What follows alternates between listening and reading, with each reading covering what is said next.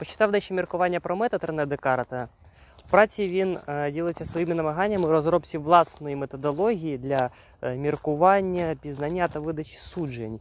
І для того, щоб не впасти в своєрідну внутрішню анархію, доки він фактично з нуля розробляє власний метод, Декарт встановлює для себе певні етичні правила, згідно з якими він має твердо і принципово стояти на морально-етичних, юридичних і релігійних засадах тієї держави, в якій перебуває, включаючи усі її культурні особливості. Таким чином, умовно визнає в якості істини те, що працює, і працює вже не одне століття.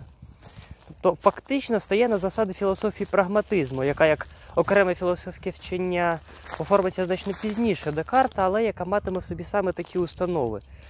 Тобто чистий прагматизм якби слугує для Декарта не в якості цілісної завершеної філософської системи, а як своєрідний фундамент, на якому той стоїть, доки розробляє власну філософію, е, нову відміну від того, що була до нього.